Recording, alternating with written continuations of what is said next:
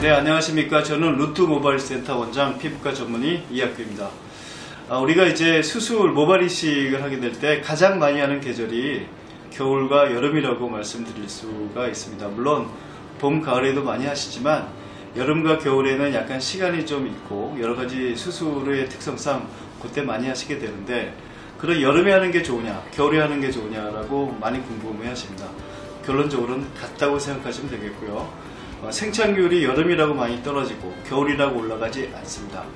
아, 물론 날씨가 더우면은 땀도 좀 나고 관리하는데 약간 불편한 점도 있겠지만 만약에 지금 여름에 수술을 하려고 그러는데 겨울까지 미룰 필요는 없다라는 거죠. 결과가 어차피 한 1년 정도 걸리고 그 다음에 그 좋은 결과를 6개월 동안 더 누리는 건 훨씬 더 중요한 일이라고 생각이 됩니다. 그래서 내가 여름에 하려고 그러는데 여러 가지 이유 때문에 겨울에 할까 이럴 필요는 없습니다. 어, 여름에 하면 어, 공기가 굉장히 습하기 때문에 요 우리가 수술을 하게 되면 굉장히 잘 붓게 됩니다. 우리가 흉해라는 거, 흉이 생겼을 때는 요 건조한 거보다는 습할 때가 훨씬 더잘 붓게 됩니다.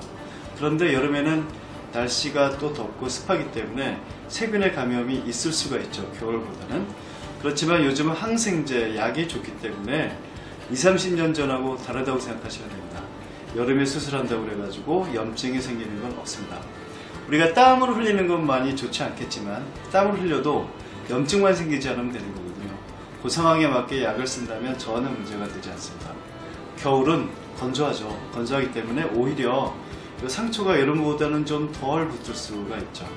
그렇지만 건조하기 때문에 땀도 좀 덜 흘리기 때문에 감염의 가능성이 상당히 떨어집니다.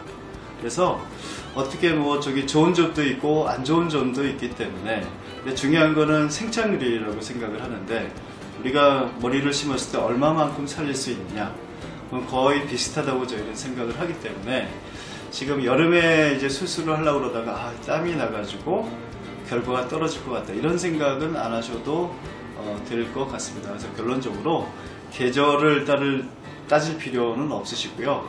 본인이 결정하셨을 때 하는 게 가장 좋습니다. 왜냐하면 아까도 말씀드렸지만 좋은 상태의 머리카락을 몇 개월 더 사용을 하시는 것은 상당히 중요한 일이라고 생각합니다. 감사합니다.